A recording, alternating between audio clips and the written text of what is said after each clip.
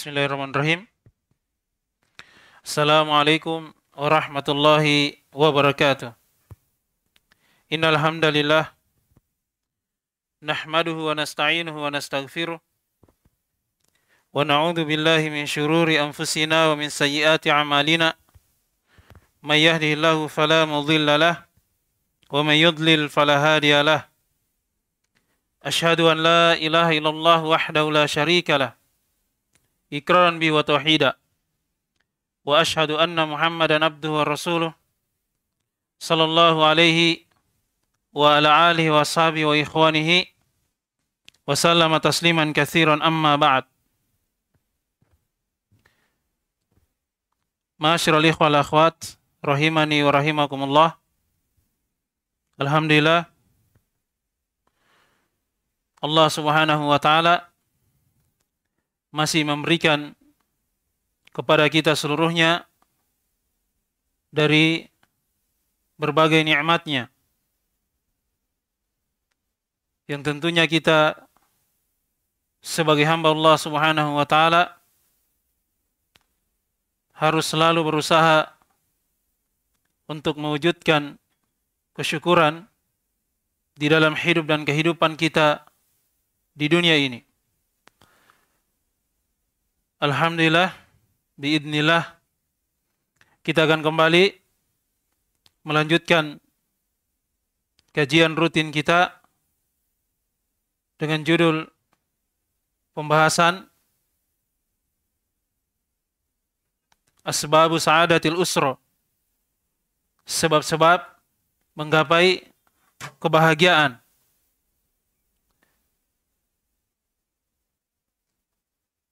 Risalah yang ringkas ini adalah karya dari ya, seorang ulama masyhur di masa ini Syekh Sulaiman Ar-Ruhaili hafidahullah taala. Dan pada pertemuan yang sebelumnya kita telah menguraikan di antara sebab untuk menggapai kebahagiaan di tengah keluarga dan ini merupakan asal yang amat besar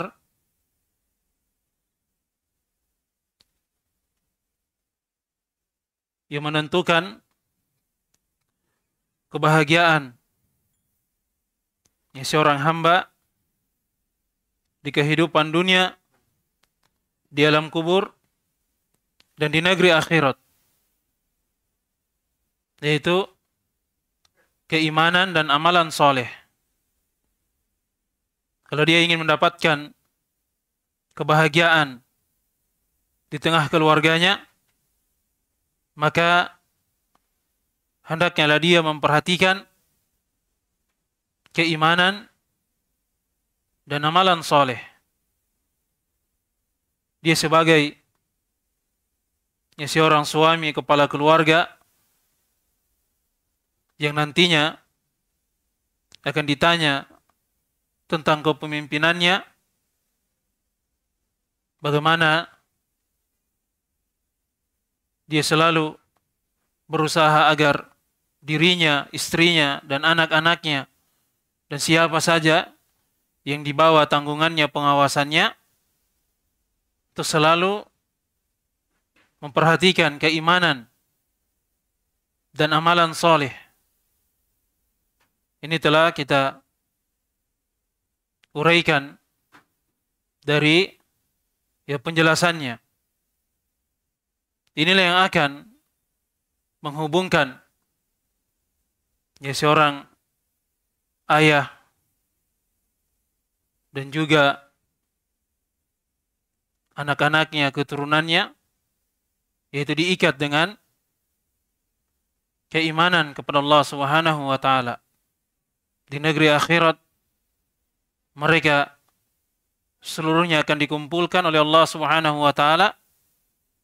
Itu disebabkan karena mereka menjaga keimanannya dan juga beramal dengan amalan yang soleh. Pada pertemuan yang sebelumnya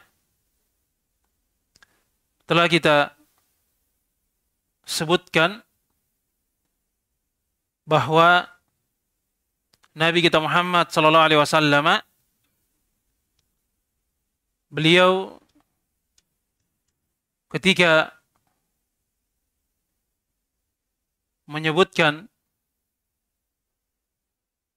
tentang perintah untuk menikahi ya seorang wanita. Maka beliau sallallahu alaihi wasallam menganjurkan untuk menikahi wanita yang penyayang dan juga wanita yang subur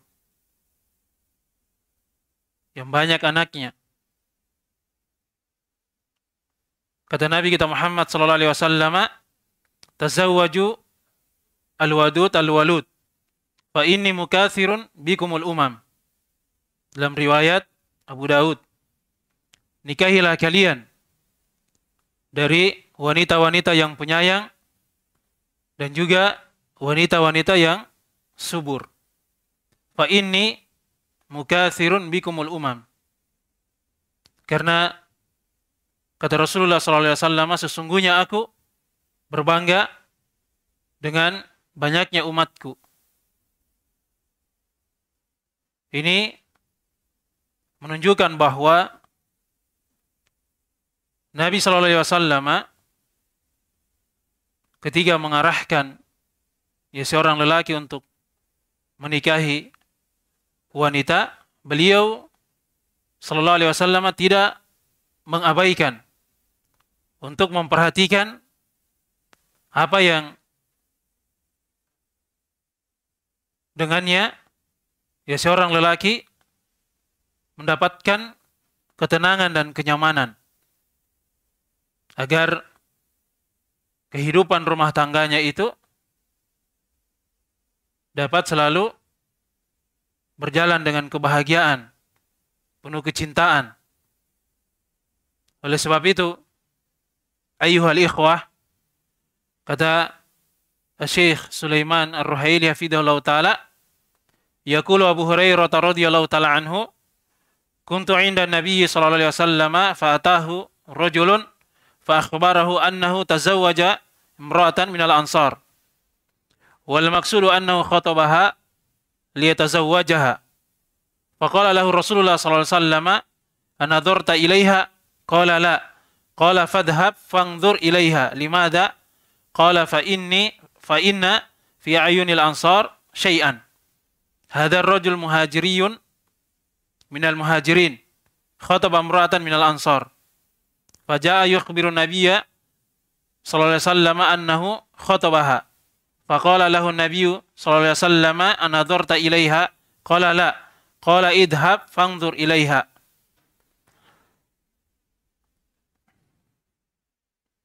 Kata Syekh Hafidhullah Ta'ala, wahai sekalian saudaraku yang mulia. Abu Hurairah radhiyallahu taala anhu beliau pernah berkata, dulu saya berada di sisi Nabi Shallallahu Alaihi Wasallam. Maka di saat itu ada seorang lelaki yang datang kepada beliau Shallallahu Alaihi Wasallam. Maka lelaki tersebut mengkhabarkan bahwa dia ingin melamar ya seorang wanita dari kalangan Ansor. Maka Rasulullah sallallahu alaihi wasallam berkata kepada lelaki tersebut, "Anadharta ilaiha?" Apakah engkau telah melihat kepada wanita Ansor itu? Qala la. Maka kata lelaki itu, "Tidak." Qala fadhhab fangdur ilaiha. Maka kata Rasulullah sallallahu alaihi wasallam, "Pergilah engkau lihatlah dari wanita tersebut." Limada? Qala fa inna fi a'yunil ansar syai'an. Kenapa disuruh lihat? Karena pada pandangan atau mata dari orang-orang Ansar itu ada sesuatu. Dan yang datang melamar ini seorang lelaki dari kalangan muhajirin. Dia ingin mengkhidbah. Dia seorang wanita dari kalangan Ansar. Maka dia pun memberikan kabar kepada Nabi Wasallam akan keinginannya tersebut. Maka kata Nabi Wasallam, lihatlah dulu kepada wanita tersebut. Jelas ya? Karena dia seorang muhajir, maka dia tidak tahu kalau pada mata orang-orang Ansar itu ada sesuatu yang kecil. Qad la yartahu ilaihi qad, la yartahu lahul muhajiri. Yang terkadang orang-orang muhajir itu tidak merasa nyaman dengan hal itu. Fangduru kaifa arsyadahu nabiyyu sallallahu alaihi wasallam ila ayanzura ila ma yartahu ilaihi.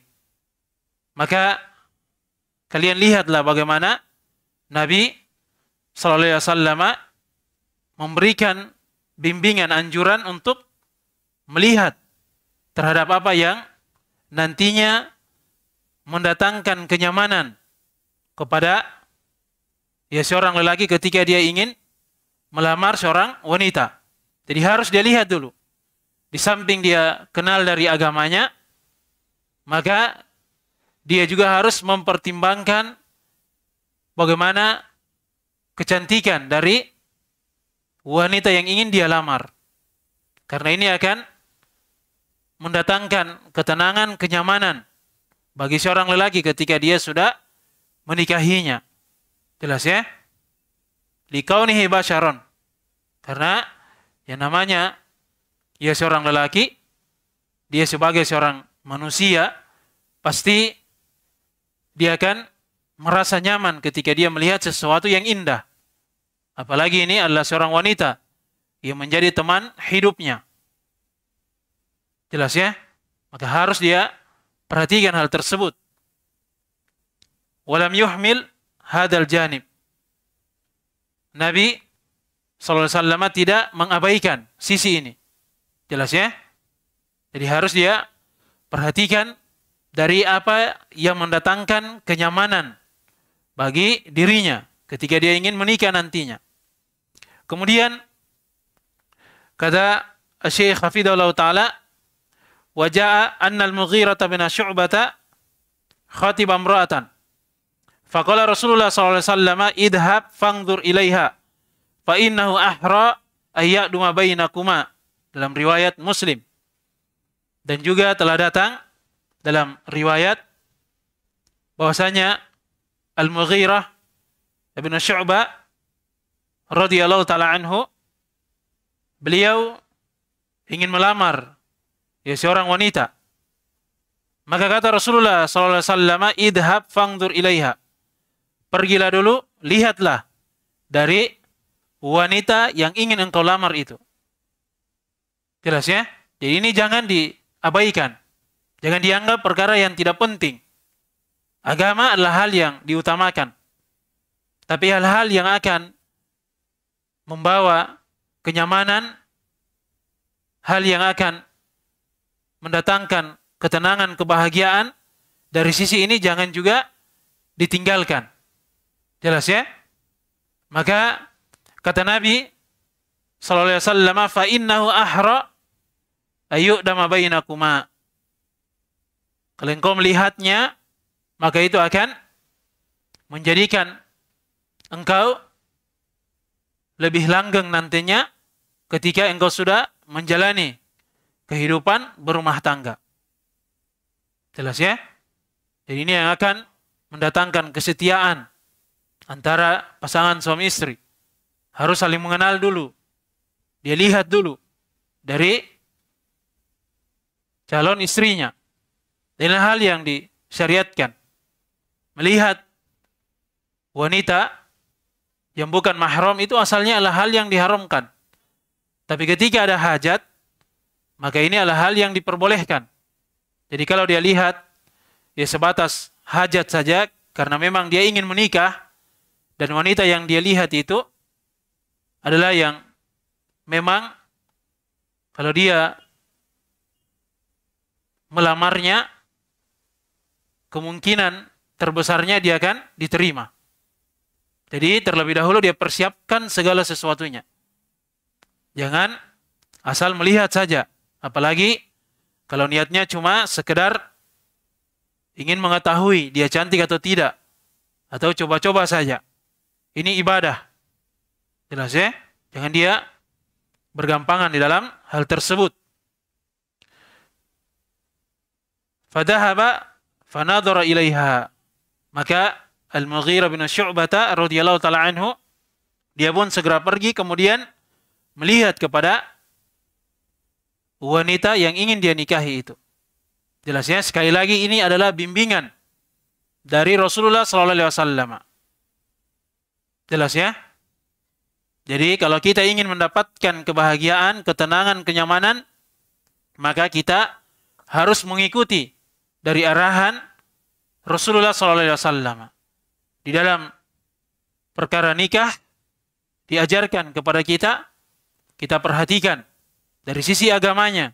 Tapi jangan kita abaikan hal-hal yang berkaitan dengan tabiat kita sebagai manusia. Apa yang mendatangkan ketenangan, kenyamanan, kebahagiaan, maka itu harus kita pertimbangkan. Jangan kita anggap remeh hal tersebut. Karena ini adalah ibadah yang amat lama Jelas ya? Yang kita harapkan berlanjut sampai di negeri akhirat. Di dalam surga Allah Subhanahu wa taala. Jelas ya?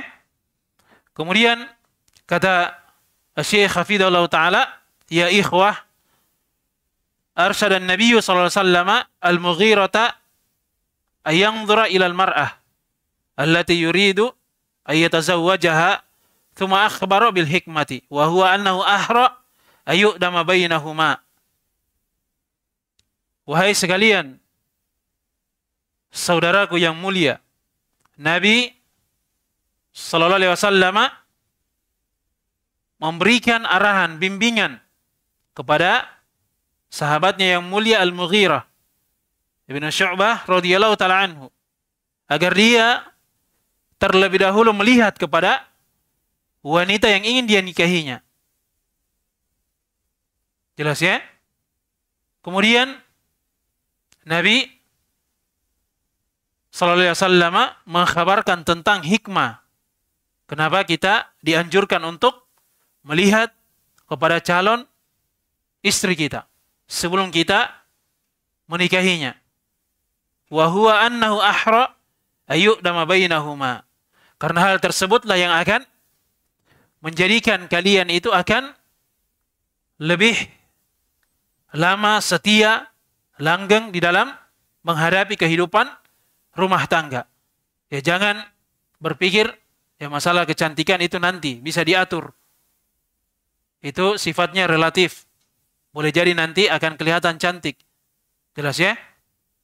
Ya kalau dia bisa istiqamah di atas hal tersebut, dia bisa jamin dirinya di atas hal itu, komitmen dengan apa yang dia katakan, ya silahkan saja tapi mengikuti dari arahan Rasulullah SAW, maka itu adalah hal yang terbaik. Tidak ada yang terbaik selain arahan dari Rasulullah SAW. Jelas ya? Wa tadimal hayatu ada hanain bainahuma. Ini akan lebih menjadikan kehidupan itu akan selalu berada di atas kebahagiaan ketika mereka sudah menikah. Falam yaktafi nabiyyu sallallahu alaihi wasallam bi ayya'lama ar-rajulu bitadayyuni man taqaddama li khidbatiha wa inna ma ra'al hajat al-bashariyah. Min ajli ayartaha al-insanu liman takunu liman yakunu ma'ahu fi hayatihi.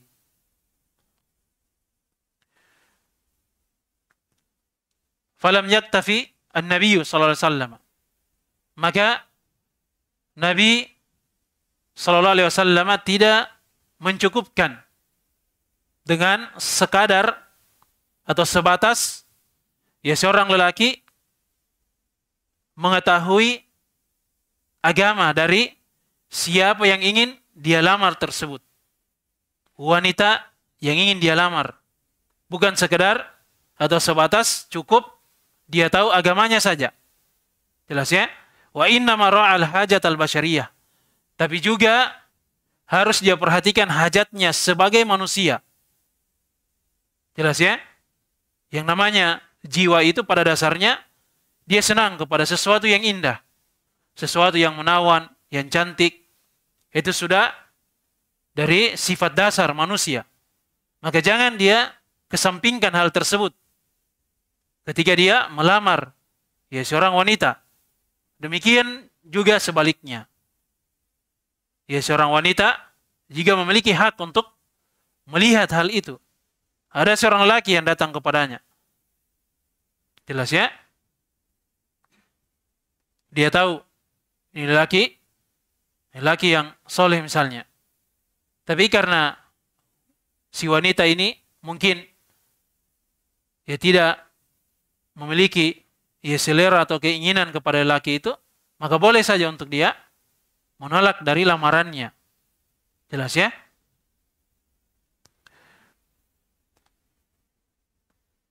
Karena hal-hal yang seperti ini adalah perkara yang harus diperhatikan. Ini berkaitan dengan kehidupan rumah tangga yang akan dia jalani. Bagaimana keberlangsungannya nanti. Jelas ya?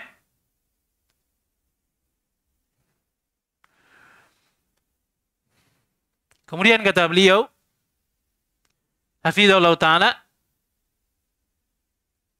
Wahada amrun min a'dami asbabil istiqralil Fa'idha tazawwaja ar-rajul mar'ah wa qad irtaha laha din kana dak kana dalika fi sa'adatun li usratihi wa daimumatun li ilaqatihi az-zawjiyah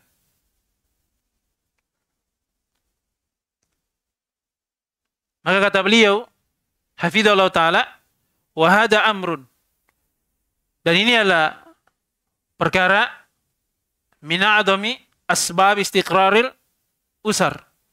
Di antara dari sebab-sebab yang amat besar yang amat berpengaruh di dalam kebahagiaan hidup berumah tangga. Fa'idha tazawwajar rajulu al-mar'ah. Maka apabila ya seorang lelaki telah menikah dengan ya seorang wanita yang merupakan pilihannya, wa laha dan dia merasa nyaman, merasa bahagia, tentram, tenang. Wahia datuddin. Ditambah lagi istrinya tersebut adalah wanita yang memiliki agama yang baik, perhatian terhadap ibadahnya kepada Allah Subhanahu wa taala. Tutur katanya lembut. Jelas ya? Jauh dari ucapan-ucapan yang kotor yang keji. Merendah di hadapan suaminya karena dalika fi sa'adatun li usratihi. Maka ini adalah sebab yang akan mendatangkan kebahagiaan bagi keluarganya. Dan juga hal yang akan melanggengkan ikatan pernikahan itu. Jelas ya? Jadi dia perhatikan dua hal. Hal yang merupakan hajat kebutuhannya dia sebagai seorang manusia, kecantikannya, itu harus dia perhatikan. Kemudian agamanya. Jelas ya, dan ini juga telah kita sebutkan pada pertemuan yang sebelumnya. Kemudian kata beliau hafizahullah taala wa min asbabi sa'adatil usar amrun faqadahul katsirun fi buyutihim al yauma ala wa huwa ayuqama fil buyut dzikrullah azza wa jalla dan dari sebab kebahagiaan kehidupan rumah tangga dan ini adalah perkara yang kebanyakan kaum muslimin itu hilang dari rumah-rumah mereka di hari ini. Itulah tegaknya zikrullah berzikir di rumah-rumah mereka. Ini dari hal yang nyata. Kebanyakan dari rumah-rumah kaum muslimin itu tidak dihiasi dengan ibadah kepada Allah Subhanahu wa taala. Jarang terdengar Al-Qur'anul Karim dibaca di dalamnya.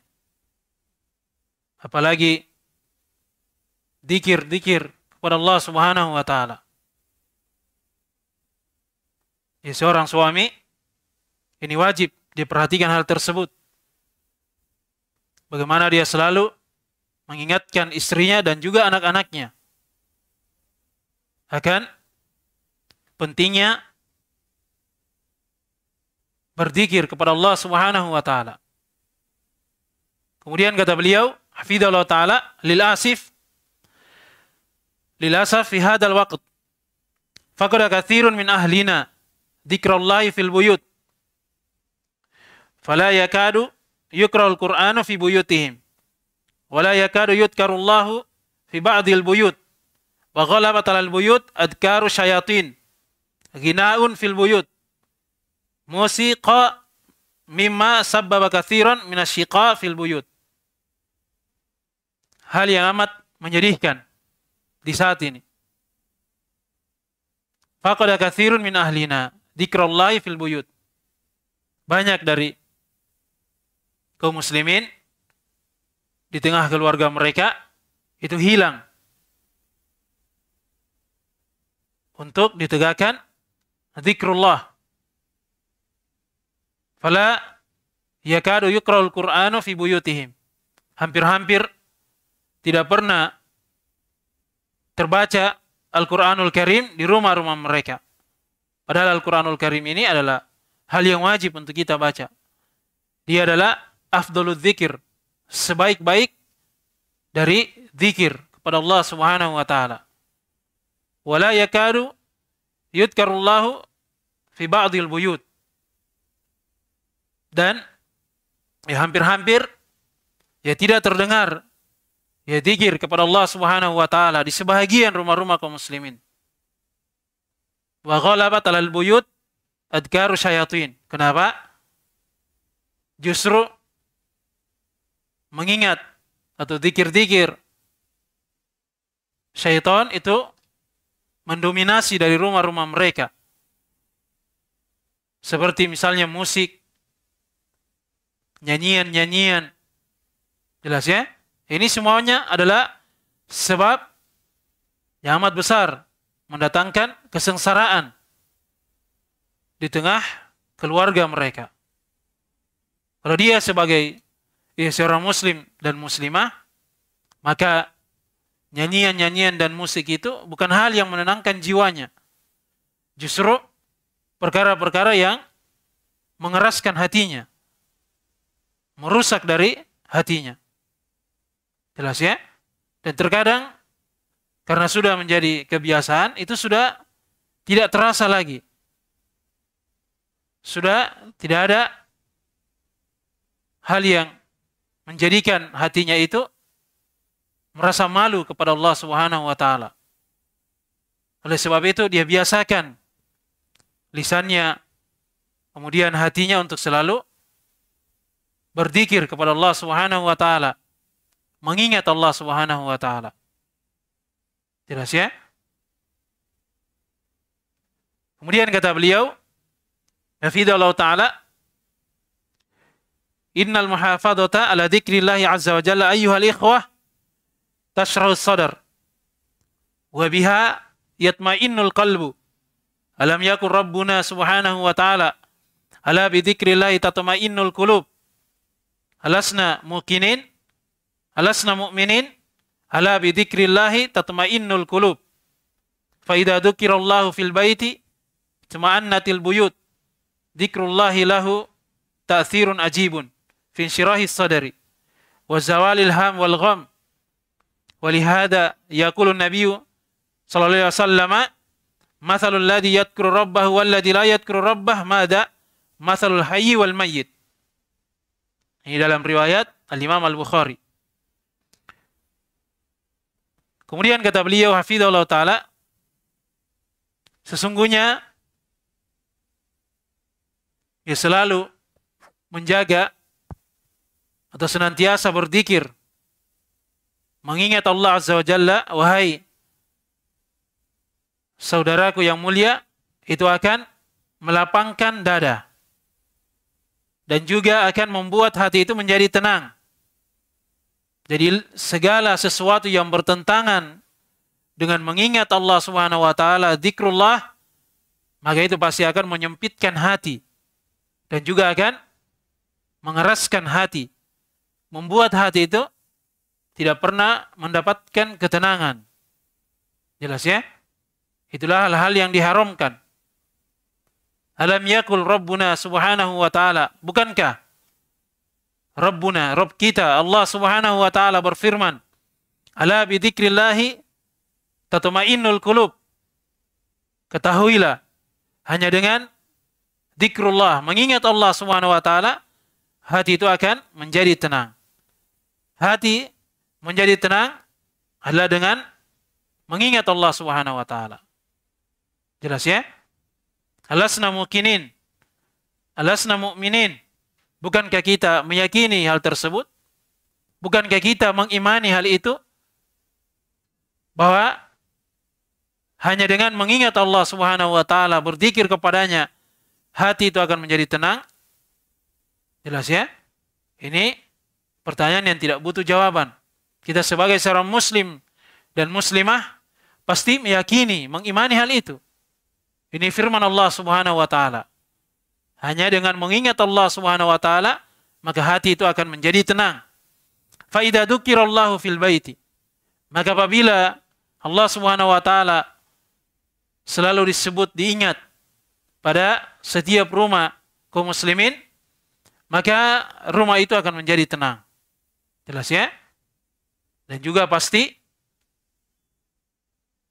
orang yang berada di dalam rumah itu merasakan ketenangan dan kebahagiaan. Jelas ya? Zikrullah berzikir kepada Allah Subhanahu wa taala lahu ta'thirun ajibun. Ini ada manfaat, ada pengaruhnya yang amat luar biasa. Finshirai sadar di dalam melapangkan dada, melapangkan hati, menghilangkan hati itu dari berbagai penyakit. Jelas ya? dari gundah gulana, kesedihan, kegalauan, dan penyakit-penyakit hati yang lainnya. Kalau dia ingin hatinya itu lapang, hatinya itu berada di atas ketenangan, di atas kebahagiaan, maka selalu dia berzikir kepada Allah Subhanahu wa taala. Kapan dia lepas dari berzikir kepada Allah Subhanahu wa taala, dia berpaling kepada hal yang lainnya, maka ini akan menjadikan syaitan itu dapat menguasai dari hatinya. Sehingga dia pun akan tunduk kepada syaitan terhadap apa yang diinginkan oleh syaitan itu. Jelas ya? Maka harus dia jaga, dia bentengi dari dirinya dengan selalu berzikir kepada Allah Subhanahu wa taala. Oleh sebab itu Nabi kita sallallahu alaihi wasallam berkata, "Mathalul ladzi yadhkuru rabbahu wal ladzi la yadhkuru rabbahu mada? Mathalul hayyi wal mayyit." Perumpamaan dari seorang hamba yang selalu mengingat Allah Subhanahu wa taala Rabbnya dan yang tidak pernah mengingat Allah Subhanahu wa taala itu bagaikan orang yang hidup dan yang mati. Alladzi yadhkurullaha hayyun yang selalu mengingat Allah Subhanahu wa taala itulah hamba yang hidup. Jelas ya? Walladzi la yadhkurullaha mayyitun. Dan hamba yang tidak mengingat Allah Subhanahu wa taala itulah hamba yang mati. Walau sara bainan nas. Walaupun dia jasadnya berjalan di antara manusia. Mayyitun la hayata fi hayatihi. Dia sebenarnya adalah mayat. Tidak ada kehidupan yang hakiki pada jasadnya itu. Jelas ya? Wala ruha fi baitihi. Dan juga tidak ada ruh kehidupan di dalam rumahnya. Liannahu la yadkurullaha azza wa jalla. Karena dia tidak berzikir, mengingat Allah azza wa jalla di dalam rumahnya. Tidak dia hidupkan dengan zikrullah. Yang ada hanya hal-hal yang diharamkan. Perkara-perkara yang justru melalaikan dia dari mengingat Allah Subhanahu wa taala. Walaupun dia kelihatannya dia merasa senang, bahagia, tapi ketahuilah bahwasanya hatinya itu sebenarnya kalau dia lihat kepada hal yang pada hakikatnya dari hatinya itu sebenarnya berada pada kehancuran, kesedihan, gundah gulana. Jelas ya? Tidak pernah berada di atas ketenangan dan kebahagiaan.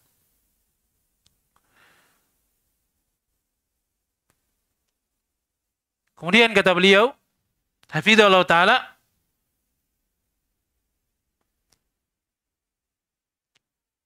wa fadlullahi bisababihi amimun.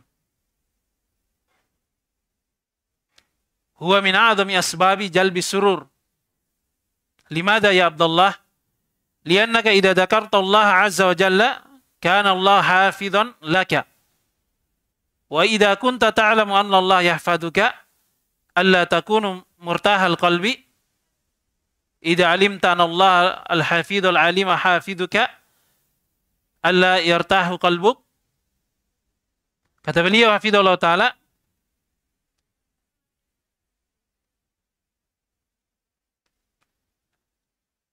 dan keutamaan Allah Subhanahu wa taala dengan sebab zikrullah selalu mengingatnya, inilah hal yang amat luas.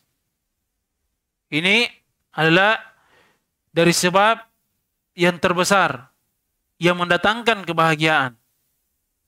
Jelas ya? Kenapa? Wahai hamba Allah. Karena sesungguhnya ketika engkau berzikir kepada Allah Azza wa Jalla, maka kana Allah hafidun laka. Maka ketahuilah bahwasanya Allah Subhanahu wa taala itu senantiasa menjagamu. Jelas ya? Ini nanti akan ada penjelasannya, dalilnya. Wa idza kunta ta'lam, maka apabila engkau mengetahui meyakini bahwasanya Allah Subhanahu wa taala yang selalu menjagamu, maka tidakkah hatimu itu merasa tenang? Jelas ya? Ketika kita mengingat Allah Subhanahu wa taala, kita harus yakin bahwa ini dia yang akan mendatangkan penjagaan Allah Subhanahu wa taala kepada kita. Maka ketika kita yakin akan hal tersebut, maka pasti hati kita itu akan merasa tenang. Karena Allah Subhanahu wa taala yang senantiasa menjaga kita. Jelas ya?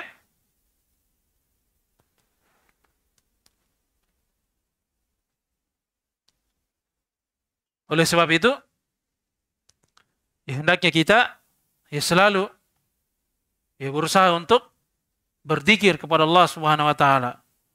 Jangan sampai kita berpaling dari mengingat Allah Subhanahu wa taala. Jelas ya? Allah Subhanahu wa taala berfirman, "Wa may ya'shu an dzikrir rahmani nuqayyid lahu syaitanan fahuwa lahu qarin." Dan siapa yang berpaling dari mengingat Allah Subhanahu wa taala Rahman, maka kami akan mengikutkan padanya itu syaitan dan syaitan itu akan menjadi kawannya yang selalu menemaninya, yang selalu bersamanya sehingga dia akan mentaati dari syaitan itu. Ketika dia tidak mengingat Allah Subhanahu wa taala, maka syaitan yang akan menguasai dari hamba itu maka dia akan selalu mengikuti dari ucapan bisikan-bisikan dari syaitan tersebut. Jelas ya? Dan Allah Subhanahu wa taala juga berfirman, "Wa man a'rada an dzikri fa inna lahu ma'isyatan dhanka wa nahsyuruhu yaumal qiyamati a'ma." Dan siapa saja yang berpaling dari mengingatku, maka dia akan mendapatkan kehidupan yang sempit, kesengsaraan. Dan kami akan kumpulkan dia di hari kiamat dalam keadaan buta. Jelas ya? Jadi jangan berpaling dari ibadah, ketaatan, petunjuk dari Allah Subhanahu wa taala. Itu secara umum juga masuk dalam zikrullah, mengingat Allah Subhanahu wa taala. Jelas ya? Maka ya kita sebagai ya seorang yang memiliki keluarga, kalau kita sebagai kepala keluarga ingatkan kepada diri kita sendiri, kepada anak dan istri kita. Kalau kita sebagai anak, maka kita harus saling mengingatkan kepada saudara dan saudari kita kepada ya kedua orang tua kita kita ingatkan dengan cara yang baik agar di rumah itu selalu diadakan ketaatan, ditegakkan ibadah kepada Allah Subhanahu wa taala, zikir kepada Allah Subhanahu wa taala. Ya mungkin ini yang bisa kita sampaikan pada pertemuan kita di sore hari ini. Ya semoga ada manfaatnya bagi kita seluruhnya. Bismillah. Izin bertanya Ustaz. Uh, bagaimana bagus bahasanya Ustaz karena biasa istri protes kalau pertanyaan tadi ya. Jadi ada seorang istri dari salah seorang suami di suatu tempat di luar sana. Ya. Uh, istri itu dia selama di rumah suka tiba-tiba uh, me, bernyanyi, me, bersenandung mengikuti nyanyian yang dia ingat di masa lalunya dia, lagu barat atau lagu ini. Nah, si suami itu menegur. Bilang, bilang ya, nyanyian itu berdosa, haram dan lain sebagainya. Tapi dia berdalih bahwa eh, kan ada hadis yang membolehkan perempuan bernyanyi untuk suaminya, sementara saya sendiri tidak menyuruhnya dia, tidak menyuruh dia. Bagaimana Ustadz menasehatkan uh, istri yang masih suka menyanyi dan dalihnya juga dia karena ini tidak pakai musik. Dia cuma dari mulutnya dia begitu. Yang kedua Ustadz, uh, si istri itu sendiri dia pernah kami eh kami dia dan suaminya pernah bersafar dengan salah seorang ustadz. Dia melihat ustadz itu bermain game. Nah sampai sekarang si istri itu senang sekali main game dengan dalih ustadz saja main game. Uh, jadi uh, bahkan dia sampai mengatakan sambil main game ini saya berzikir. Waduh, bagaimana tuh Ustaz? Bagaimana menasihati istri dengan bahasa yang lembut dan bisa masuk ke hatinya? Jazakallah khair. Iya. Jazakallah khairan. Bismillahirrahmanirrahim. Ya, pertanyaan yang pertama ya bagaimana ya menasihati istri ketika istri masih suka terkadang menyanyi walaupun tanpa diiringi musik. Yang pertama ya bahwa ya kita harus mendoakan istri kita untuk dia dapat istiqamah di atas ketaatan kepada Allah Subhanahu wa taala dan agar dia dapat meninggalkan ya, segala ya, kemaksiatan. Kemudian yang kedua, ya, setiap dari kehidupan keluarga itu ya berbeda-beda dari kebiasaannya. Ada ya seorang suami sebatas dia menyampaikan hadis istrinya langsung mendengar dan langsung taat Jelas ya? Ada ya, seorang suami ketika dia sampaikan dalil kepada istrinya, ya mungkin jawabannya seperti tadi. Ada juga dalil yang lain yang dia sampaikan. Jelas ya? Ada juga ya seorang istri ketika disampaikan dalil, dia diam saja. Tapi tetap dia lakukan hal yang diharamkan itu. Dan hal yang seperti ini tinggal kita lihat saja dari kebiasaan-kebiasaan dari istri kita. Ada waktu-waktu yang terkadang dia senang untuk diberikan nasihat, di situ kita berikan nasihat. Sambil kita ingatkan bahwa Nabi ya sallallahu alaihi wasallam telah mengharamkan dari nyanyian dan musik. Jelas ya? Kita ingatkan hal tersebut. Kalau dia katakan bahwa ada dalilnya, kita katakan bahwasanya dalilnya itu adalah dalil yang lemah. Tapi ini kita cari dari kondisi dan waktu yang dia kelihatannya lebih senang menerima daripada membantah. Jelas ya? Kita berusaha untuk menasihati dia dengan baik. Kelihatannya kalau kita bacakan dalil atau hadis kita katakan bahwasanya ini dalam riwayat Al-Bukhari bahwa Nabi kita Muhammad SAW bersabda la yakunanna min ummati yastahiluna al-hara wal hari wal khamra al mazif nanti akan ada dari umatku yang akan menghalalkan perzinahan sutra kemudian khamar dan musik. Mungkin dia bisa menjawab. Jelas ya? Dia katakan ada dalil yang lain juga. Nah, ini ya terkadang agak berat ya oleh sebab itu caranya kita cari dari waktu-waktu yang dia kayaknya tidak akan membantah. Mungkin kita berikan sesuatu agar dia senang terlebih dahulu. Baru kita masukkan hal-hal yang kita inginkan terhadap istri kita. Jelas ya? Kita beritahu ini riwayatnya jelas dari Nabi dalam riwayat Bukhari. Jelas ya? Ini disahihkan oleh para ulama. Al-Imam Al-Bukhari memasukkan dalam sahihnya. Ini dalil yang tegas Adapun dalil yang dia bacakan tadi bahwa boleh, itu tidak ada dalilnya. Yang dibolehkan itu hanya bermain apa namanya rebana itu pun pada seorang anak wanita yang masih kecil. Itu pun dalam keadaan dan kondisi tertentu hari perayaan. Dan kalau kita bandingkan dengan di masa kita ini akan sulit untuk mendapatkan situasi dan kondisi seperti itu sehingga menjadikan hal itu dibolehkan. Jelas ya? Ini musik-musik sekarang mana ada seperti musik-musik yang dahulu. Yang dahulu itu para sahabat bersyair, ada lantunannya itu dalam hal-hal yang membuat mereka bersemangat untuk beribadah, berjihad. Kalau sekarang tidak. Ucapan-ucapan yang terkadang di dalamnya kita tidak tahu maknanya atau kita tahu maknanya, maknanya adalah hal-hal yang jelek, hal-hal yang buruk, tidak bagus. Tidak ada hubungannya dengan ketaatan kepada Allah Subhanahu wa. Itu pun sudah dilengkapi dengan musik, kalau tidak bermusik, lisannya yang memunculkan nada-nada musik itu. Jelas ya? Yang jelas apa pun yang berkaitan dengan memalingkan dari mengingat Allah Subhanahu wa taala, maka itu pasti apa? Hal-hal yang diharamkan. Kalau dia senang sesuatu yang indah, baca Al-Qur'an. Suruh dia menghafal Al-Qur'an. Tanya, berapa banyak sudah hafalanmu terhadap Al-Qur'an? Mana yang lebih banyak? Hafalan musikmu, nyanyianmu atau Al-Qur'an? Jelas ya? Nah, dengan itu mungkin akan bisa melupakan dari nyanyian-nyanyian atau musik-musik yang sudah pernah dia hafal dulunya. Jelas ya? Yang kedua tadi ada seorang yang bersafar, suami istri, kemudian karena ada ustadznya dia bermain game. Ini kondisi ya, ustadz itu yang namanya ustadz juga itu manusia, terkadang dia juga jatuh dalam hal-hal yang diharamkan.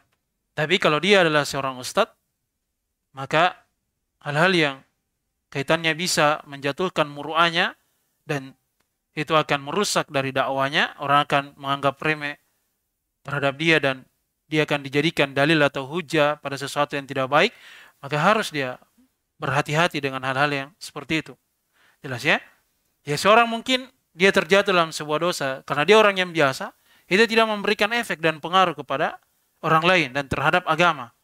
Tapi kalau dia seorang ustadz terjadi dalam sebuah kesalahan, itu mungkin dianggap hal yang biasa saja. Tapi karena dia posisinya sebagai ustadz, dia menyuruhkan kepada agama, dia melarang seseorang dari hal yang tidak bagus, dia melarang seseorang dari hal-hal yang sia-sia.